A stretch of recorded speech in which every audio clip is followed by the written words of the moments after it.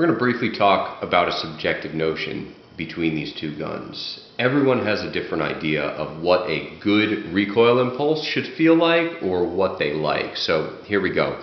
The SP-01 Shadows and the actual SP-01 have very thin tapered slides. Well, they're not tapered, but they're, they're very thin, and they don't have a lot of mass to them. Now, they're metal, they're steel, they've got mass, but when you shoot this gun, what you see is a very high slide velocity, which means that your sights return to zero or your original point of aim very quickly. Now, if you're a Grandmaster level shooter and you've got a monster monkey grip and you can really clamp down on this thing, then having a nice fast cycle speed is going to be very advantageous to you. And a lot of people really like that. But one of the things that I found with this particular gun is that yes, the cycle speed was great, shooting 135 grain round nose flat points at 132,000 power factor, but because of the grip issues, what I ended up having was inconsistencies in where my sights would settle. And what I mean by that is that I would have to fight the gun to shoot a floating sight picture every time the gun would recoil because my grip would slip just a little bit or my grip would not be as consistent as I would like it from shot to shot, I would have to spend time correcting that floating sight picture to get that sight exactly where I want. The whole idea behind a floating sight picture is that the gun returns to your original point of aim and you just simply shoot as the gun floats in recoil. Or if you're moving between targets, you simply shoot as the front sight comes over the target. And that is essentially a floating sight picture. So you have to work really hard at that to uh, to get to the point where the gun will recoil reciprocate the same every time. So because of the grip issue, issues, because of the slide velocity, I found that I was having some issues really shooting this gun as well as I would like. Now my build, Bill Drill times at 7 yards, uh, all A-zone hits are still hovering a little bit above 2 seconds, um, but that's where I am right now.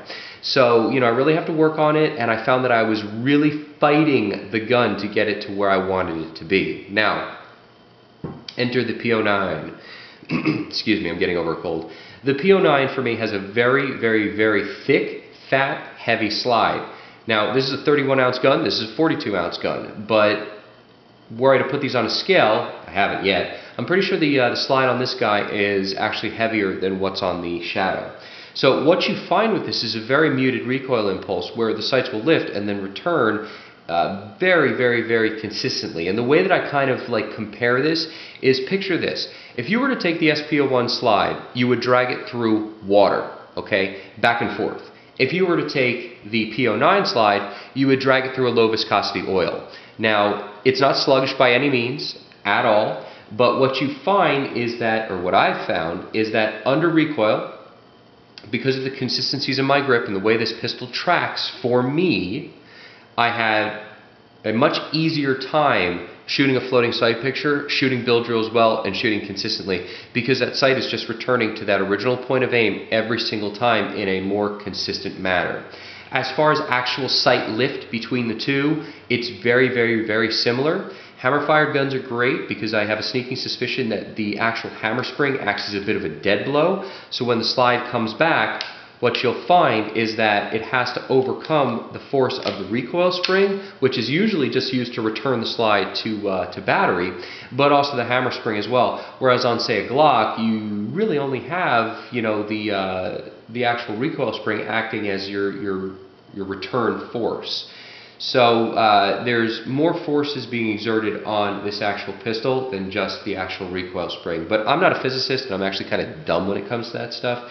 So I'm not going to comment any further. But uh, as far as recoil impulses go, I actually prefer the P09. Could it be because of the consistencies in the grip? There's a strong possibility of that. But uh, you know how the pistol sits in my hand and how I'm able to actually lock in my grip on this versus how the pistol sits in my hand on this and how I'm able to not lock in my grip as, as consistently as I would like.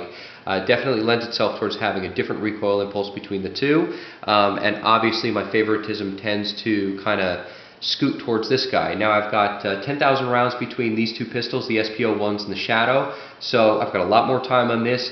This gun still has the new car smell, it's under 500, so I really need to ring this one out more before I say, oh yes, this one is quote unquote better for me.